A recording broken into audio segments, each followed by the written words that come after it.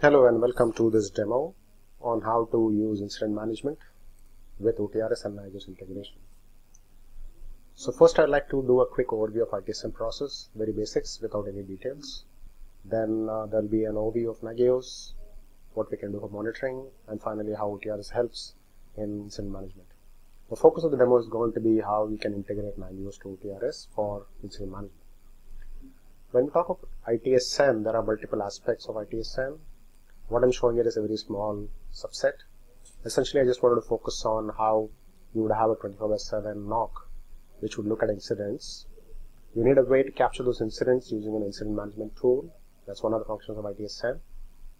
The ITSM tool also need to have a linkage to CMDB, change management, SLA management. And also there is the parallel flow of your service desk and service request management, which will also be part of your ITSM. Now what we have done here is we have set up Nagios to do monitoring and as we know Nagios is a popular tool for doing end-to-end IT infra monitoring. This covers servers, application DB and network devices. We'll be creating alerts using Nagios and also escalation metrics can be built in Nagios as needed as per business logic. The second tool in the demo is OTRS. This is an ITSM tool which is basically a complete ITSM open source tool where you can do with help incident management, help desk, CMDB, knowledge management, change management, and, other features. So essentially the focus of this demo that I wanted to show was how you can do monitoring of IT infra using Nagios XI and then the alerts would be used to generate your incidents within OTRS automatically. There will also be a linkage to your CMDB and you can also specify SLA and make sure that your response team is responding as per SLA. So with that, let me switch over to the tool. So I need to open the browser real quick. So what I'm showing here is essentially your uh, Nagios product. So this is how it looks when you log in. You get the tactical overview. Let's focus on your alerts. So let me pick up your latest alert screen. So what the screen shows is the alerts being generated by Nagios. We have set up monitoring for servers, databases, and SQL, and uh, different types of servers basically, as well as network devices. So what we've done is we have picked a few examples which will go and send an alert to the OTRS system. So let's look uh, as an example this server called Sapson Live and the process we're talking about is memory usage is an example. So what you've done is whenever there's an alert on this, the Nagios system is going to send an email alert to uh, OTRS. So that is the first part of the flow. Now what happens when this particular email hits the OTRS system? So let's log into OTRS and this is how the dashboard looks like. So essentially what happens is through the integration there is going to be an incident ticket created in OTRS and this corresponds to your alert here which is this alert. So essentially that's how the ticket is being created. So let's click through and open the ticket.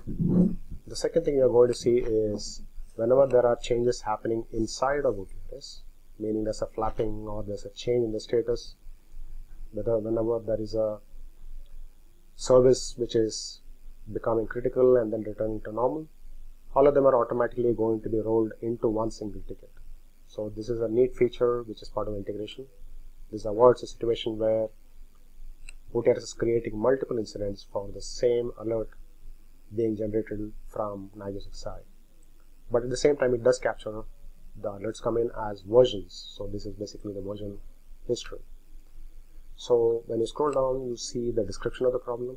You do see Nagios XI, this type of the problem, this is the name of the server IP address, the host, and the current state that is in, along with information that is being passed from Nagios to OTRS.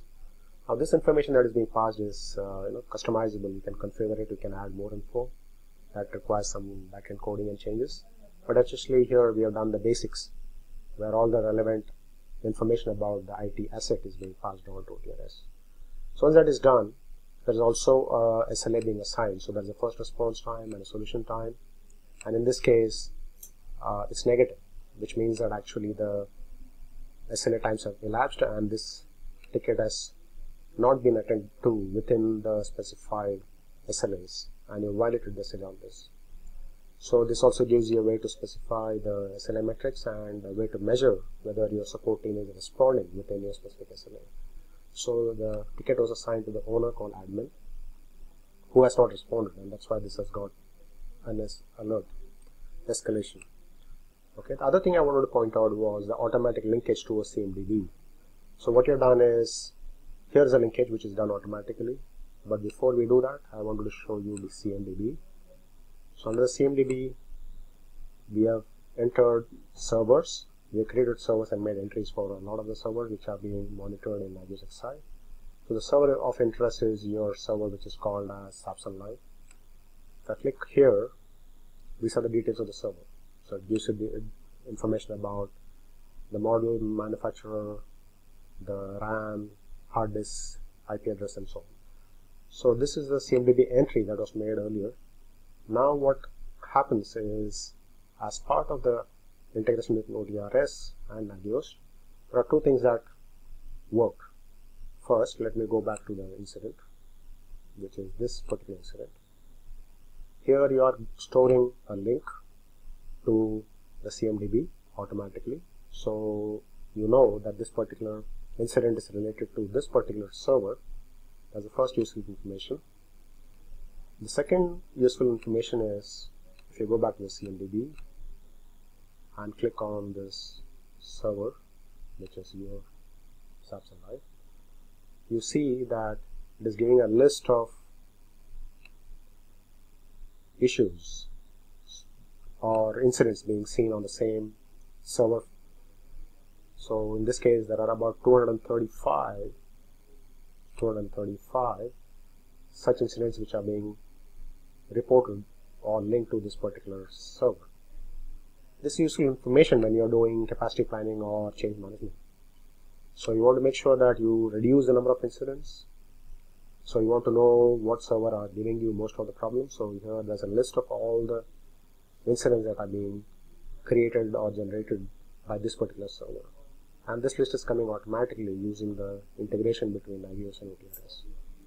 So this is very, very useful piece of information which can be used for making further decisions on whether you want to treat this as a problem and make it part of your problem management flow or whether you want to consider this as part of change management where you want to keep upgrading the IT asset in terms of maybe the memory or the hardware so that there are less number of incidents on this particular IT.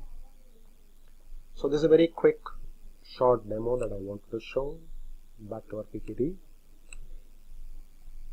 So that's all we have for this demo. Thanks a lot and visit our website altnix.com.